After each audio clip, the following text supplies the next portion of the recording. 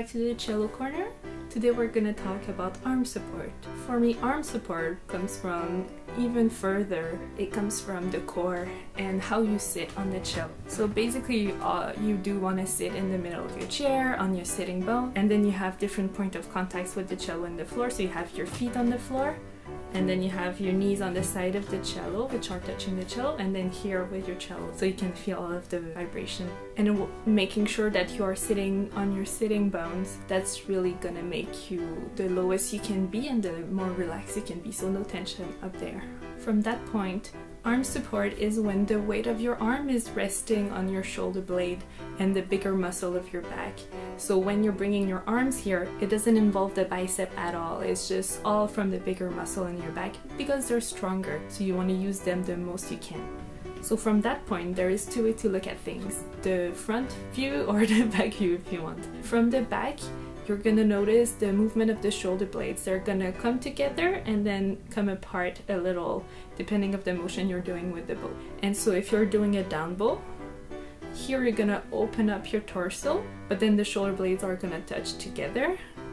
And then when you're coming back with the up bow, they're coming apart. So that motion of opening the shoulders but closing the shoulder blades is really, really important and that's opening olive here and it implies that it's very relaxed. And then from the front view you have here with the, um, how do you say, uh, the pectoral muscle I think, uh, it's in the armpit section. So you really want to be using the armpit muscle by doing a down bow this is gonna be flexing and then doing the up bow this is gonna rest. So you really want to use that tension relaxation motion going on and put it together with the opening of the shoulder and touching of the shoulder blades and then coming back together here. So there's a lot of motion going on with the back or in the front here eh, depending on from where you want it but the motion is still the same. And that is going to allow you to be very flexible and very relaxed in the rest of the motion and also to keep the weight off from the fingers. Because if you're going from under and trying to play here and putting all of the weight in your hand and fingers then it's going to be very very tight as well because the motion is coming from under and you're trying to press. Compared to if the weight is supported then you're coming from above. When your arms are supported the weight is not on the fingers it's already in the bigger muscle and these are just falling from above like little hammers from a typing machine. And so they can be very very agile compared to if the motion comes from under and then you're pressing with your thumb. And then it's really hard to have this the same agility. Also it lets you keep the nice C shape that you want to always get from here instead of having from under where this is happening the kind of claw thing where the side of the hand is coming inside because you're pressing so playing like this, or even like this, the pins, and flat finger, collapse finger, that is all wrong. What you want to get is nice strong C shape, and then the weight is all gonna rotate, right? So you want to distribute the weight evenly. If you're playing on the first, natural weight of the hand is gonna be on the first finger, and then the more you go up, then the more the weight is going to be towards the other side. So this motion is really important and you will notice that it's pretty much the same motion that you're going to do here when you want to keep the contact with the bow.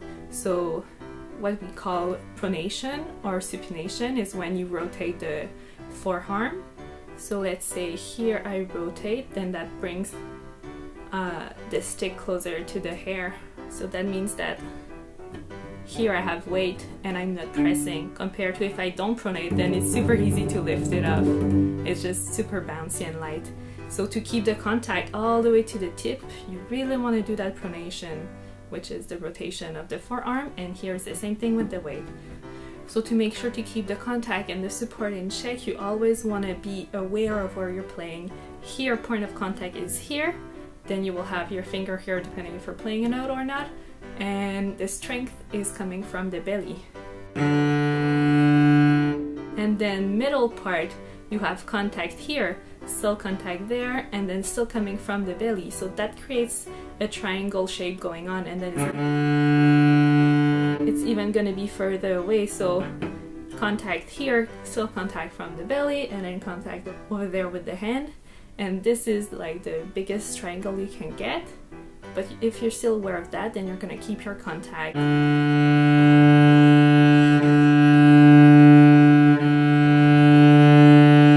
Compared to if you forget about one of those points and where the strength is coming from, like pressing with your hand, pressing with your thumb, put all of that energy from your uh, stomach. And so with that example,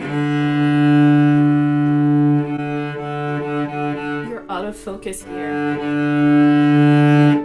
Weight is naturally heavier on the frog of the bow and here is naturally lighter, you have to compensate by creating that uh, pronation motion.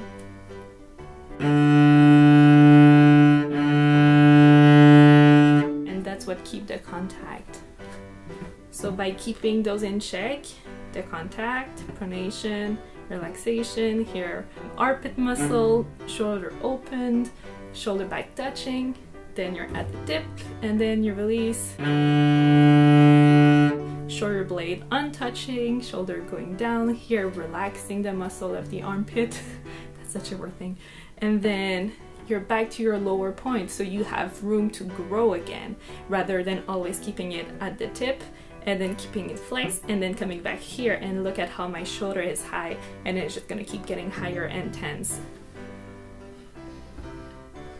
So that was my insight on how I view the arm support on the cello and there are so many finer details motion you have to do with your fingers and everything and that's for sure something we're gonna talk about in another video but um, for now really I would highly suggest to think about the bigger motion of the arm support because that's the base. So always sit on your sitting bone and think about those shoulder blades working off and relaxing that armpit muscle. I really need to find an actual name for that. okay, thank you very much. Thank you for watching. Bye bye.